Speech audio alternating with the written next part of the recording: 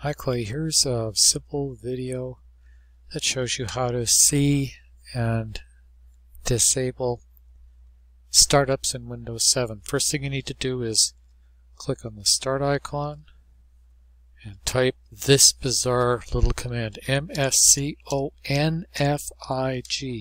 Microsoft config.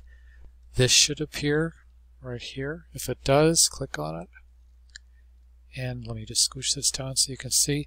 This is the system configuration dialog in Windows 7. This is, as I said in my email, much more obscure than it is in Windows 10. Click on the Startup tab and you'll see a list here of all of the things that start up when this particular computer starts. There's a lot of stuff here. Uh, again, it's not as friendly as Windows 10. Um, I'm going to scooch this over so I click right here between these two you see the funny cursor appears. When I click down here, I'm going to drag this to the right so I can read all of these. And it gives you no clue really what's going on here. But for example, here is the Realtek High Definition Audio Manager. This runs runs the audio on this computer, the one this I'm showing you this on. I want that to start. Here's the Canon My Printer utility. I want that to start to run my Canon printer. Here's the Microsoft Security Client. I want that to start because that's my security on this computer. I want the Adobe Updater Startup utility to run. This one's optional. I don't really need it. I could turn it off. I would turn it off by doing that.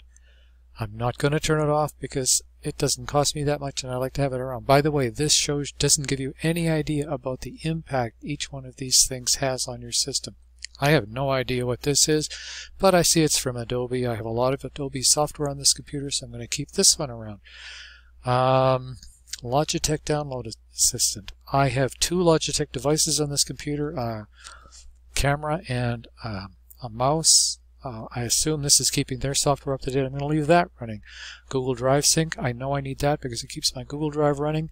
Akamai, you know, I know that all of these are important. So I'm going to leave them all enabled. Um, that's for my video card. Don't know what that is. Don't know who they are. Let's disable this one. There, it's disabled. Um, and it just goes on like this. If you're not sure what any of these are, look them up in Google. Canon Solution Menu EX. Again, this is for my Canon printer. This is for my uh, uh, uninterruptible, un un uninterruptible power supply. More Adobe stuff, more Adobe stuff, still more Adobe stuff. Dropbox I know I need. So we go through these one at a time. We check them out. We've deleted, or sorry, disabled this one particular one. So what I'm going to do now is say apply. And when I do that, it saves the change. Then I'm going to say OK and close. And when I've done that, this little message pops up which says that in fact it, nothing's changed. But the next time I start my computer, I'm going to exit without restarting now, but the next time I start my computer, that utility that we disabled won't start. Clearly make a note of what you've changed so that if something screws up in your computer, you can go back into MS Config and enable it again. It will still be there. Hope this helps. Uh, I don't blame you if this looks confusing. It is confusing. It's not half as nice as it is in Windows 10, but if there's something in there you want to disable, you can certainly go ahead and do it. Um, that's it. Good luck.